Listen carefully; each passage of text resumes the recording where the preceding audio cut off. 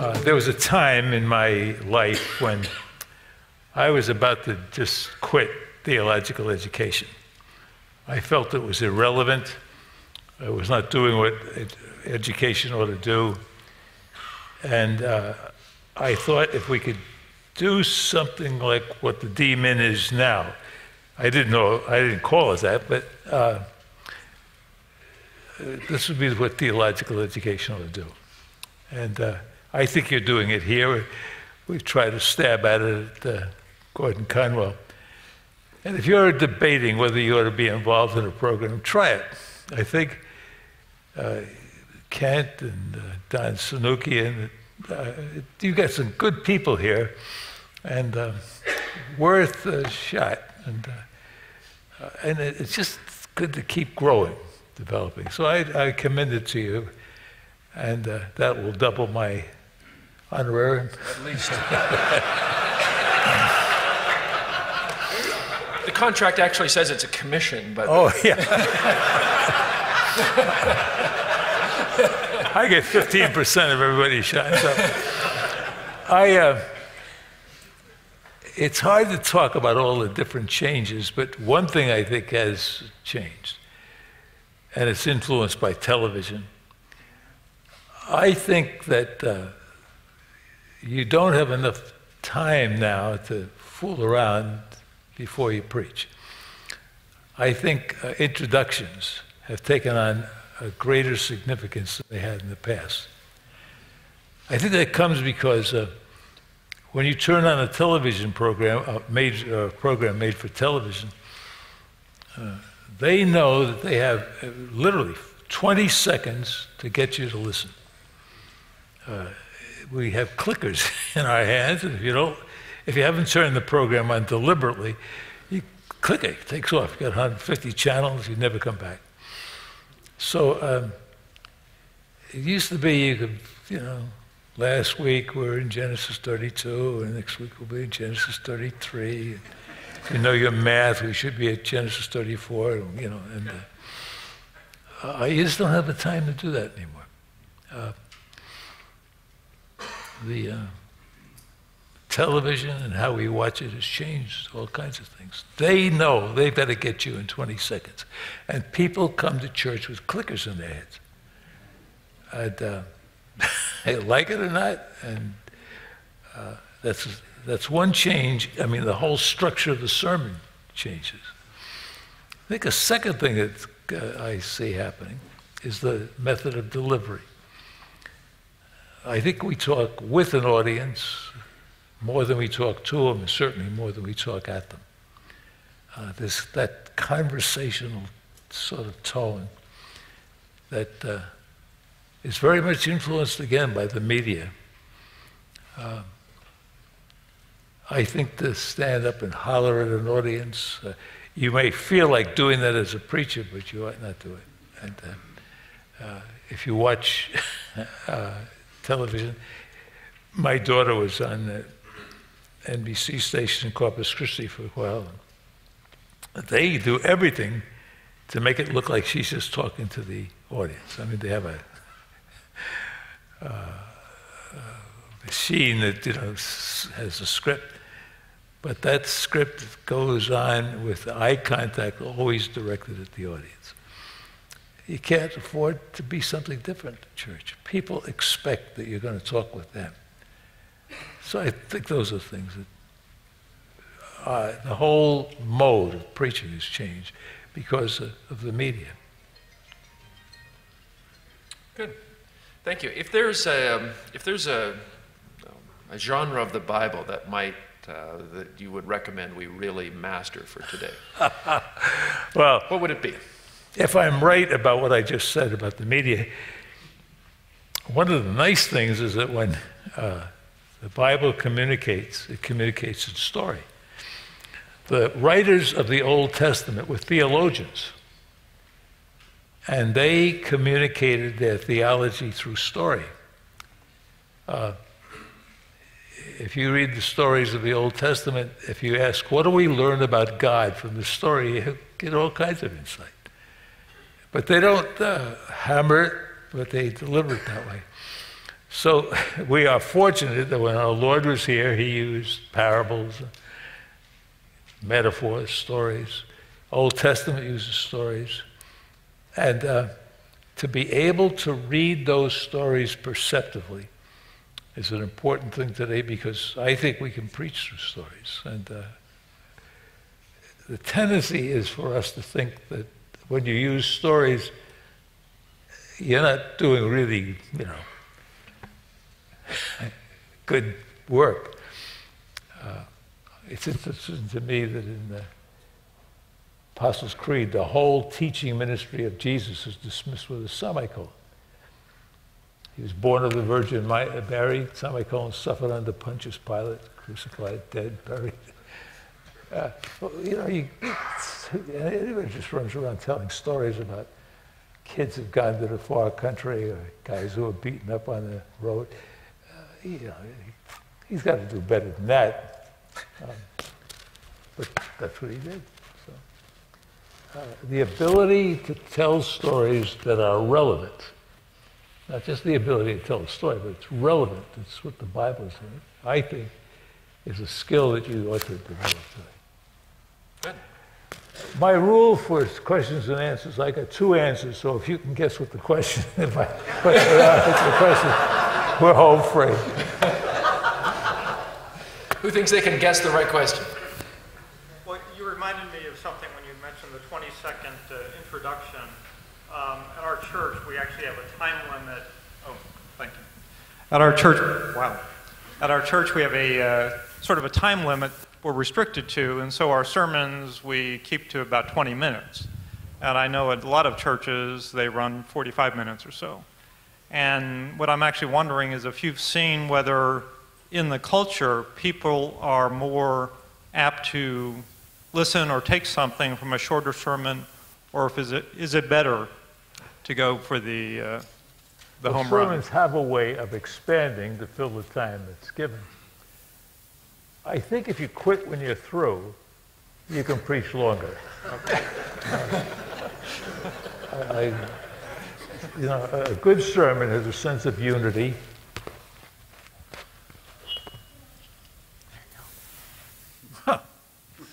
a good sermon has a sense of unity, a sense of order, a sense of progress. This feeling that it's moving, it's going someplace. So if on some Sundays you quit in 20 minutes because that's what you have to say, that's fine. Other Sundays, if you go to 25, 30 minutes in a church like that, people will excuse you because they know you quit when you're finished. Uh, but uh, very few people will tell you they want you to be shorter. I was uh, did a survey with the Christianity Today, and the pastors all said they ought to preach 30 minutes, that kind of thing. But the people didn't say that. They, they ought to quit when he's through. Uh, usually, they, you know, you can't do that all the time. You let the kids loose on you. They come shooting through the auditorium. But uh, it's hard to talk about time that way. Uh, but there is, if you get used to 20 minutes, you'll stay within 20 minutes. I'm used to 25 to 30 minutes. And uh, I can land a minute at time. Uh, I preached at Grace Chapel for a number of months, and they had it down to 20 minutes because they were on the radio. And I said, I don't think I could do that. I don't know how long a 20 minute sermon is. I mean, intuitively, I, I could tell you, I could tell you what a 30 minute is. I could tell you what 12 and a half minutes are because I do that in the radio. But uh, anyhow, I don't think there's any answer to it. I do most of the preaching there, and, and I lose track of time. That's good. Uh, eh, I just get, I finish. When I get through, I get through. And sometimes it's 20 minutes, sometimes it's 25. Uh, very rarely do I go 30, but but I'm uneducated. if, so. the, if the crowd is still with you after you preach for 30 minutes, that's fine. If they quit at 20, uh, you got 10 minutes there you got to fill.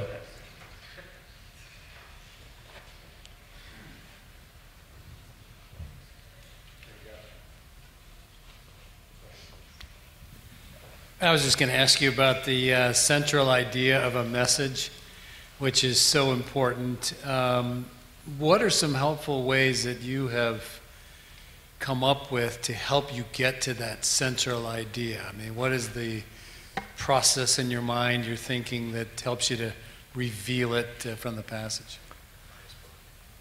It's tougher to get it when you're doing narrative literature because the writer may not give it to you. Or if they state it for you, it's in the mouth of maybe a minor character.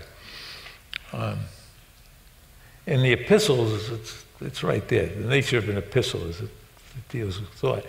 It may come at the end of the passage, so it leads up to it, or at the beginning of the passage leads out of it. Um, I have found in working with the narrative literature to ask the question what do I learn about God from this passage? Because if the writer is telling me about God, then I, I ought to ask that question. I do it because that helps me get to what he's driving at. Uh, it also gives me an idea of how much of this narrative I can take and use.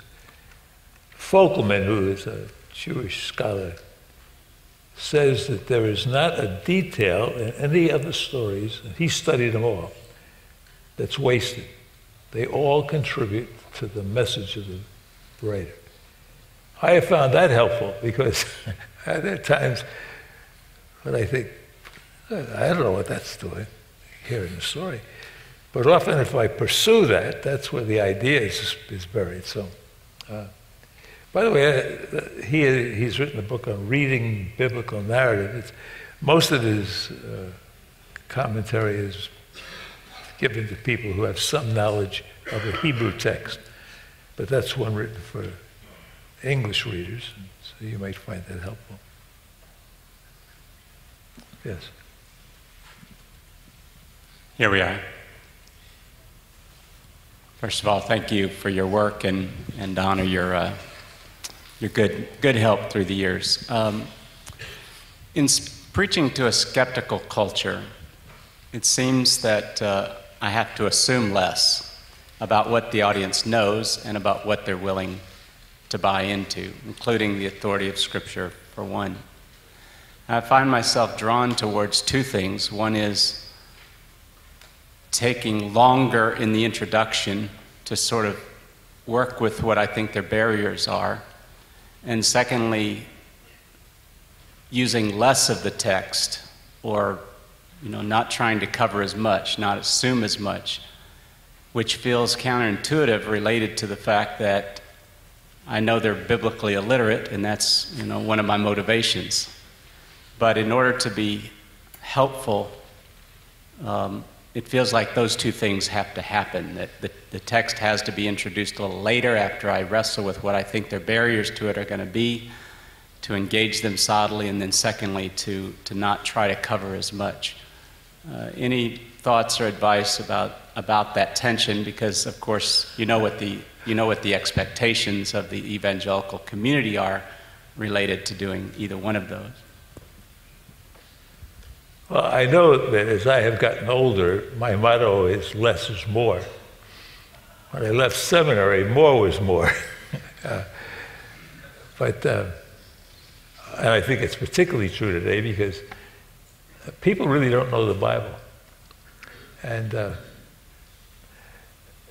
when uh, I did this survey with Christianity Today, we asked uh, pastors what they thought the people believed about racial issues, economic issues, a whole bunch of issues. And consistently, pastors overestimated the uh, knowledge and attitudes of their people. The best of the communicators were closer, but not one of them was where the people are. Uh, so you're speaking to what I think is the condition today. that doesn't mean you talk down to them.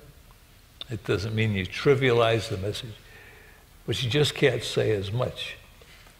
And better to say something well than to say nothing or say something poorly. It seems obvious. Uh,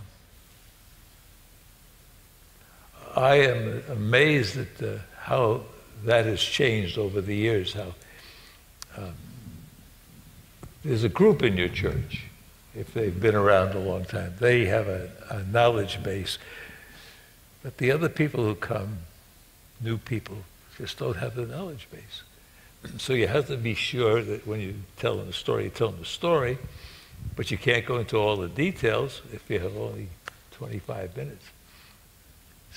So, uh, but you're speaking to what I think is one of the great problems of our day. Uh, and I think the other thing, as you're saying. I think the only thing you can count on in the people in the congregation is a sense of skepticism. Um, we often talk as though everybody understood the Bible, but more than that, we talk about uh, things as though there were miracles every half hour in the ancient world. And uh, people were risen, raised from the dead, people you know, water to, to wine.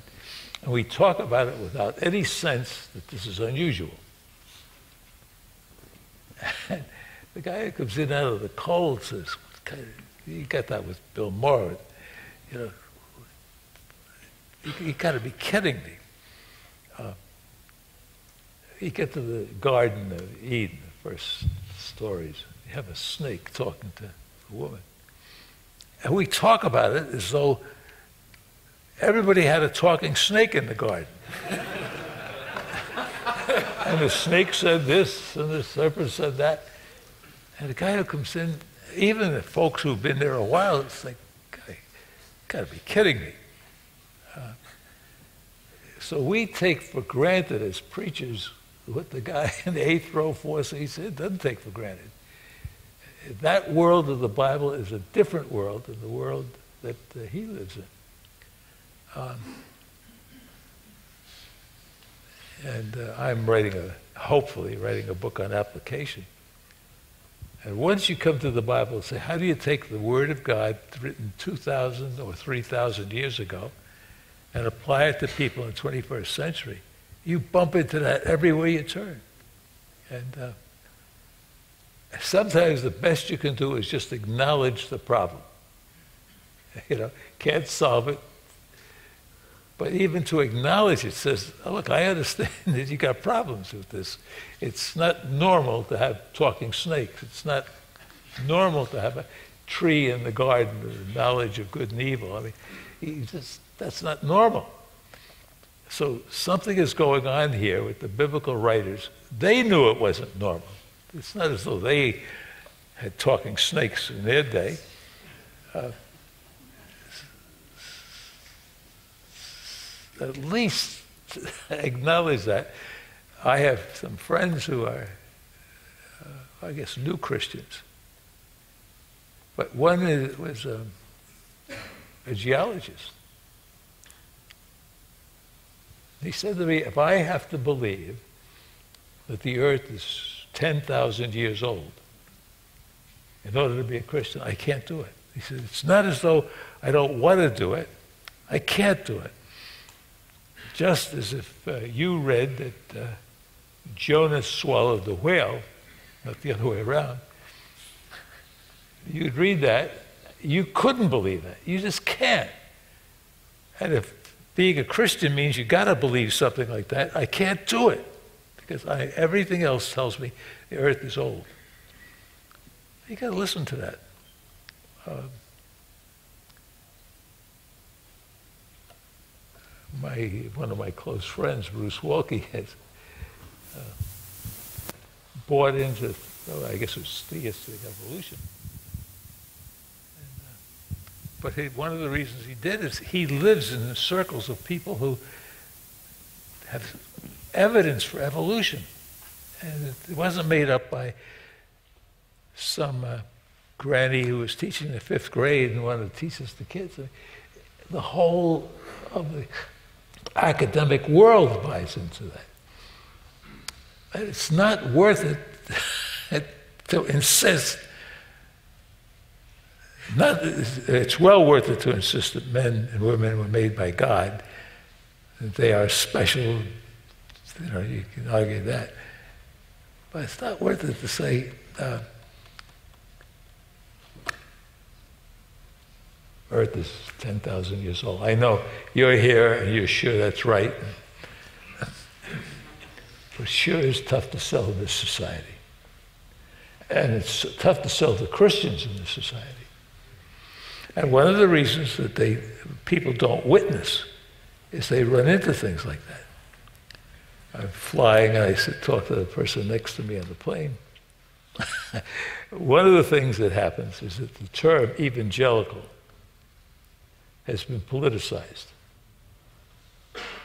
If I, uh, I try not to let him know I'm a preacher.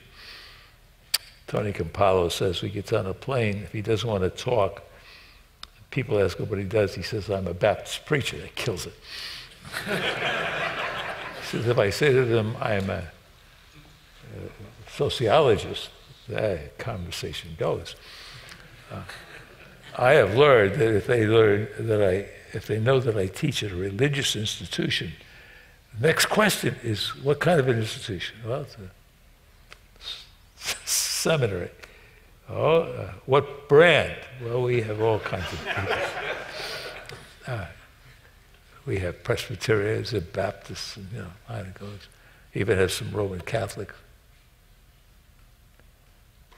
They're a little more comfortable with that. But if they hear that we are evangelical, they have already decided we're right wing Republicans. and we'd vote for Attila the Hun if we had a chance. I mean, uh, and the only thing they know about evangelicals is that, we are a percentage of the vote in Pennsylvania. and uh, so we have not been done a favor by the people who have politicized it, even the people on our team, because. Uh, the issue is not whether you're a right wing Republican. The issue is, are you right with Jesus Christ? And that's a different question. As the communication patterns have changed, as you described, and particularly when we go into a visual culture, what, uh, what advice do you have as we encounter people that want to uh, have, or, or, use of video clips and images and um, kind of nonverbal type of uh, communication in sermons. Do you have some comments for us? Say that again, now, please.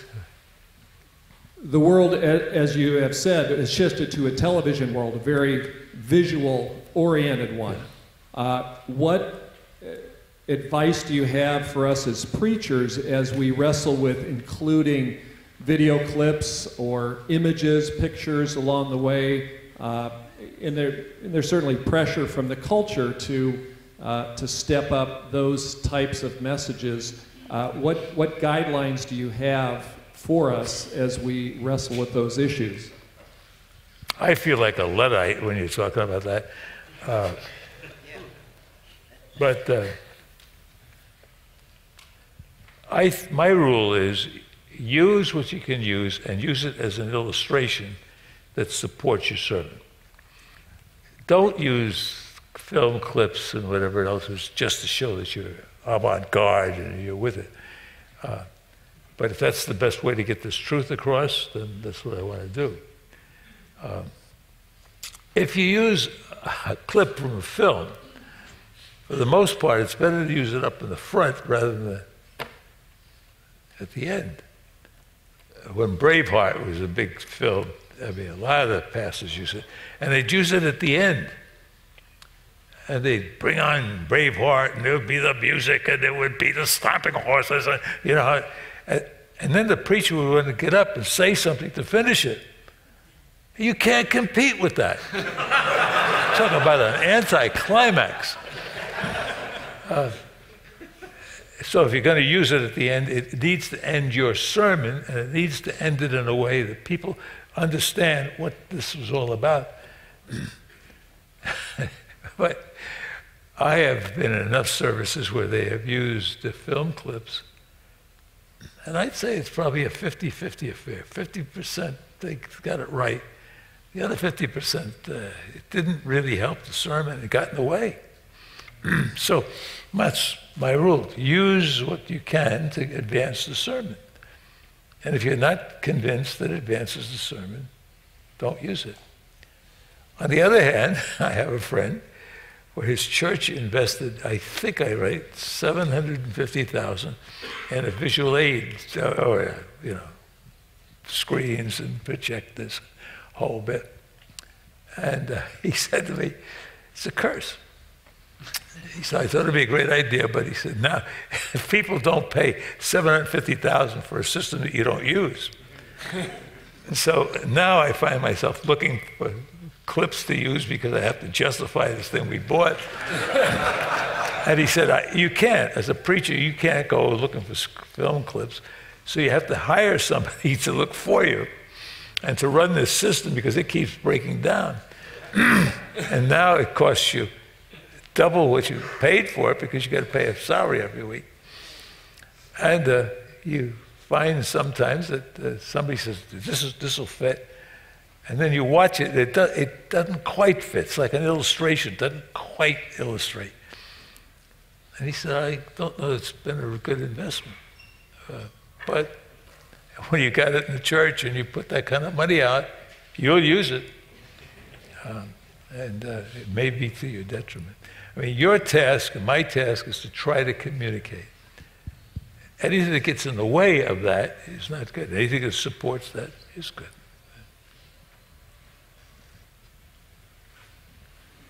Uh, Dr. Robertson, could you comment on the shift in preaching where we would do weeks in one book of the Bible to now uh, just topical uh, messages? Still expositorily preached, but the, the topic is driving the sermon series for four weeks or ten weeks. Just curious what you're seeing and thoughts of that shift in preaching that. If I understand your question, it's if you preach through a book, each sermon has to be a complete unit. You can't depend that the people heard it, part of it last week and then they came back, because they didn't come back. Uh, the average church attendance is not every day of the month, uh, uh, so that uh, each sermon has to be a unit of itself introduction, body, conclusion. And you really can't say, I did this last week, I can carry it over. We face that with our radio program. Uh, we go through books of the Bible, we go through all kinds of things. but we have found that we cannot depend on the fact that the audience was here yesterday. They're not. So we have to go back and review and set it. Now, there are some folks who hear us every day, and they will write and say, Wish you guys would move on. but uh, you can't. I mean, you, uh, uh, today the pattern of listening is so different than it used to be in the past. I don't know if that helps at all. Do, you see any um, downsides of preaching focusing on the need? You know, the, the, the sermon series is designed on on people's needs. So we design a sermon series around, say, marriage or hot topics or questions Jesus asked, and we're in different books of the Bible every week versus just anchoring like in Matthew or in Isaiah? Well, I'm more comfortable coming from a book of the Bible, working with a passage, and then saying, how does this apply to people today? What is the biblical message that goes across the culture? Uh, I, I, I, that's just me. I just find doing a topical message on marriage uh, I am more likely in those messages to bring in from the outside support and the message itself outside the Bible. And I don't have enough time with the people to do that. So, but that's my own feeling about it. Better to do the message and say, all right, what relevance does this have?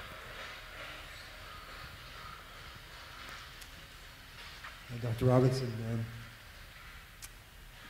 I know I, for one, and I'm, i suspect most of us, realize that a relatively small percentage of people's discipleship happens in that 30 minutes on Sunday morning.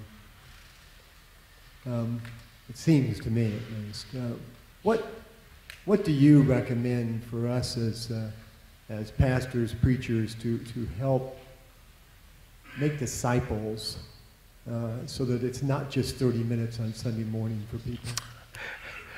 Russ can talk at 30, talk about it as 30 minutes to raise the dead. Um, sometimes I think it's 30 minutes to kill people.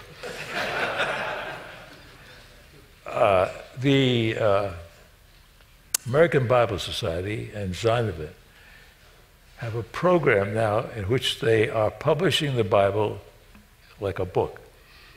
Uh, the order of the books in the New Testament is Luke and Acts, and then uh, the letters are fit within that. The, the text has no numbers, it's published like an ordinary book, and they have people coming together, reading the, that text and discussing it. It has had remarkable success. Uh, and it has a, a, couple of kinds of success. People will read this, and they read it like a book, so sometimes uh, they will have read 12, page, 12 chapters of a book and not even know they've done that. It, it catches the flow.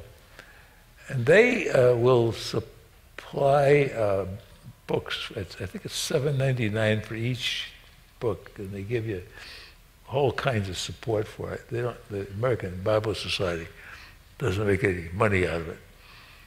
Uh, but it, it does give a biblical understanding to people who, who read.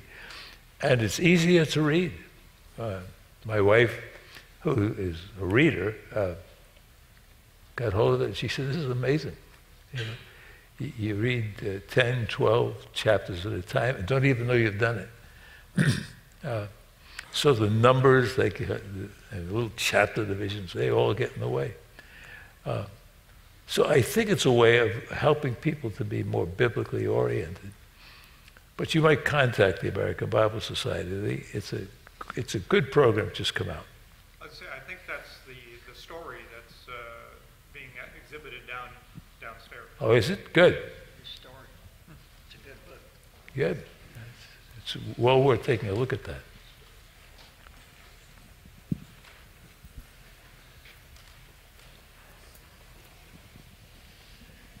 I appreciated your uh, comments about discernment in your first uh, uh, address this morning.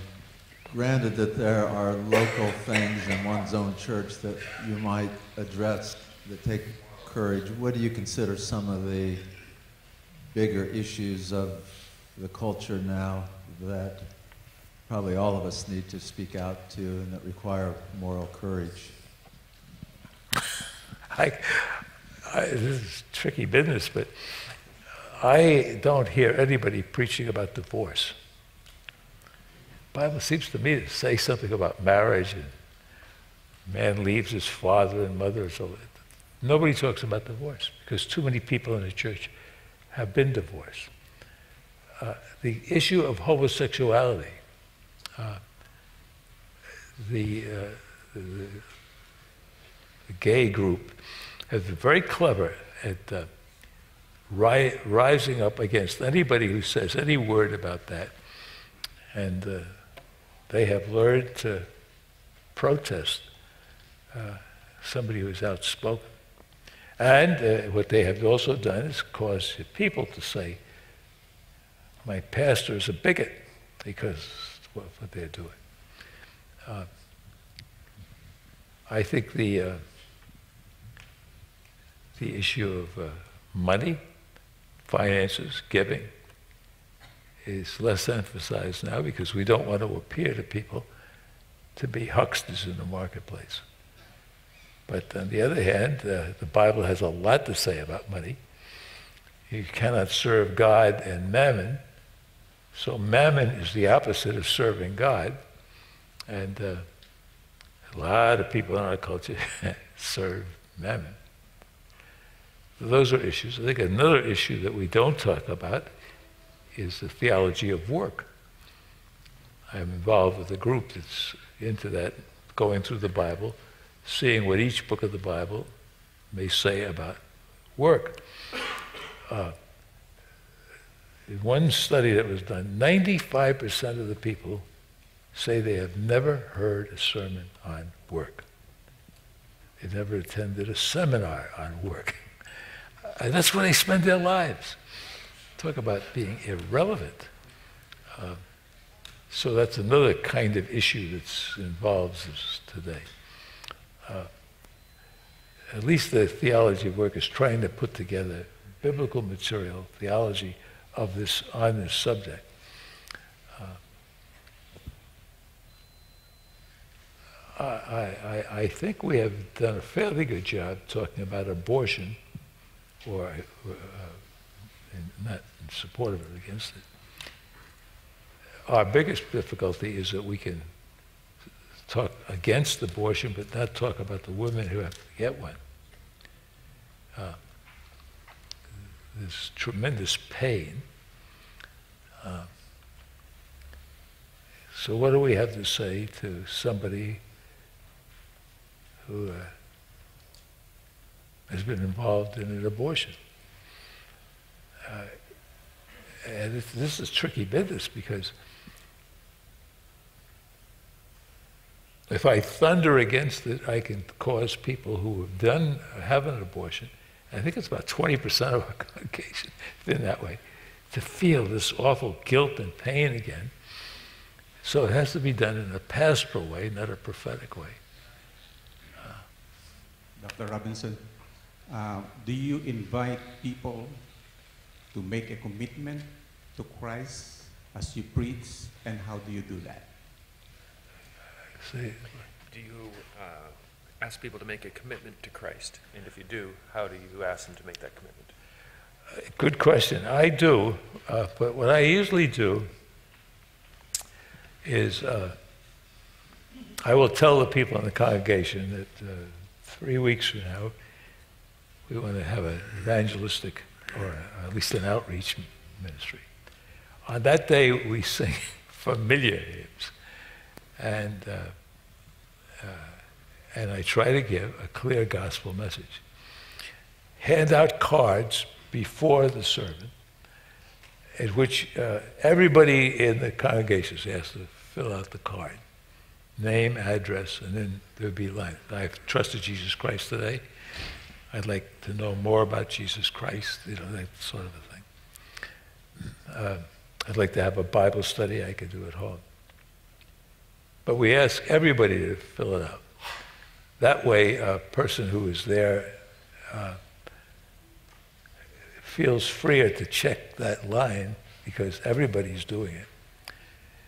Uh, we, uh, if we do it, you have to have some kind of follow-up so that uh, I tell them, if you check, you'd like to know more about Christ, or you've trusted Jesus Christ, somebody will call you, and they'll get with you at your convenience, at your comfort place, just to talk to you about Jesus Christ. Nobody's going to try to get you to join this church. We might do that, but that's not what they're doing. They're here to help you understand what it means to become a Christ follower of Christ. Uh, uh, God has used that. Uh, I think bringing people forward in a service to make a commitment. you, your pastors, you have married people. You get with the groom, at least, he, he's over the side. I say to the groom, now listen, just listen to me. If I say, will you, then your answer is I will. If I say, would you, your answer is I would, you know. it's he's over in the corner reciting those words. I mean, this is traumatic to be in front of a congregation, have to answer a question like that. Uh, so when people come forward at a church and we uh, get, give them the card, they sign up, uh, often they confuse the drama and the adrenaline with the moving of God in their lives. So if you're going to do something like that, be sure you have an opportunity to sit and talk to people. I know that even though I've tried to make the gospel as clear as possible, uh, people who come who are not a Christian, obviously, uh, they're almost traumatized by coming forward.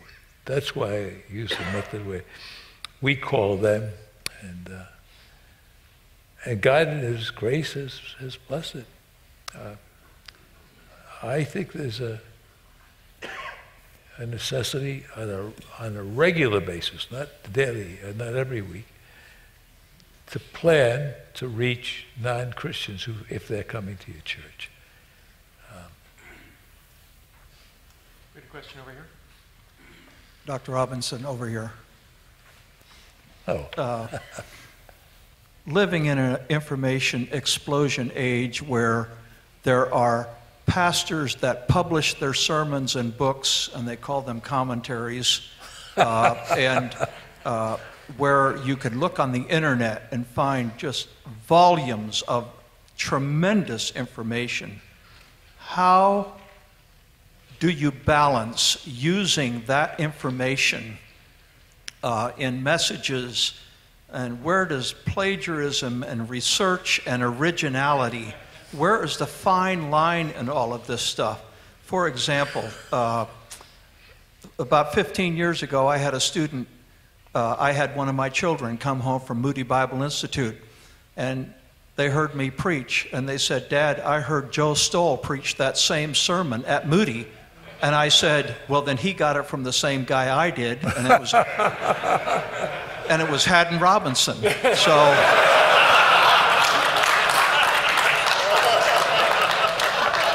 I think you're owed royalties. yeah. Confession is good for the soul, but bad for the reputation. I, I, if something I have preached you take and you use, use it. You don't have to give me credit for it, just do it. Uh, I mean, what have we, that we have not received? Uh, the danger of taking other people's material on a regular basis is you don't grow. Uh, you're, it's take a whole sermon on its own.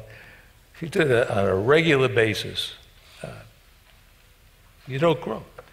There's something about your own personal study bringing the message together that helps you. Avoid that step, and uh, it doesn't help you much. And it gets shallow. Uh, I, I, have friends who really believe that any time you take something from somebody else, it's, it's plagiarism. I don't know. If you take it from five people, it's scholarship. Uh, I, I am not nearly as bothered by that as I am by the fact that if you're going to steal, steal from an upper class neighborhood.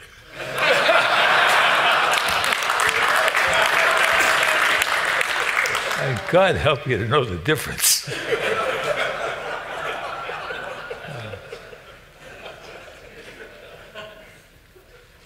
I have, uh, I have friends I know who didn't go to seminary, but they have a ministry and uh, and they need help to learn what to take. Uh, there's some people that consistently give out good material. Uh, but if you only take the stuff that appeals to you in a sense, you, will hurt, and you hurt your people. If you get good material, uh, Spurgeon knew that people stole his stuff.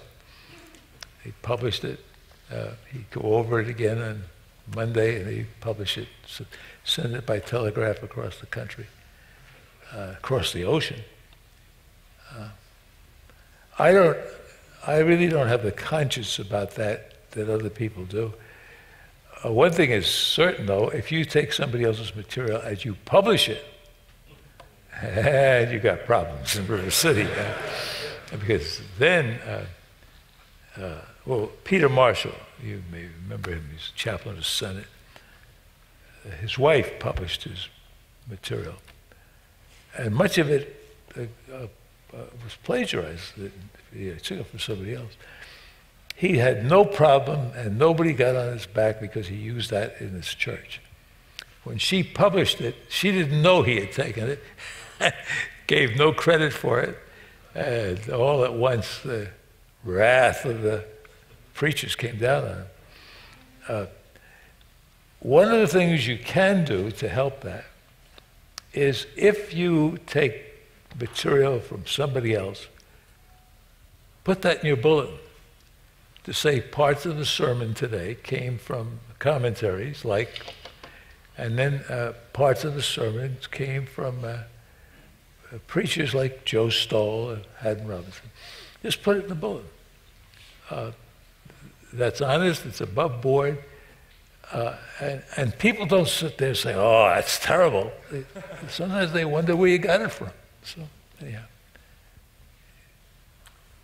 Yeah. Uh, Dr. Robinson, um, you you seem to be such a, a, an astute observer of you know the changing of culture, and especially within the church.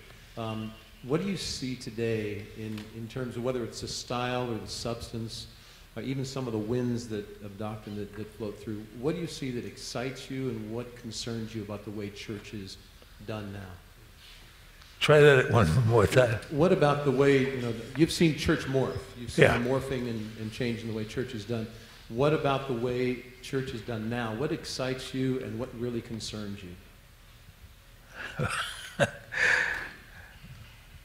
What concerns me is, I was talking about that this morning, to tell people what they want to hear rather than what they need to hear. Um, and that seems to me, the example given by people who use secular literature and secular sources to say in the name of God what God isn't saying. Uh, there's a lot of that that goes on. Uh,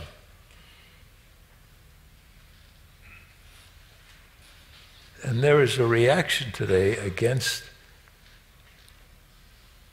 biblical preaching by people who do it poorly.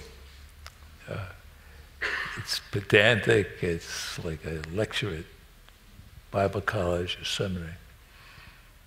Uh, that concerns me. It just concerns me that people are bored by our preaching. And boredom is not only bad communication, it's a destroyer of life and hope. I mean, to think that if Sunday after Sunday they sit in church and they are bored, they end up being bored with God and bored with Christ and bored with the Bible. And you can't do that today. That's a real penalty. Eh? Yeah. That concerns me a great deal. Uh, the Bible is great literature. I say to our students, uh, this is not a, a plug, it's just the Bible is great literature, and great literature appeals to the total person. Uh, appeals to them intellectually, appeals to them emotionally, it grips them. Uh, so don't ignore the fact that it's good literature. I mean, great literature, really. Um, and if other books like modern novels grip you, the Bible can grip you. And you must have had that experience. You- You're not studying for a sermon, you know, you know, you're just reading the Bible, and you get engrossed in it because the literature is, you know, you're not asking, what is it telling me about God? Or, just a great story. And uh, I don't think we have conveyed that well to the people in our congregation.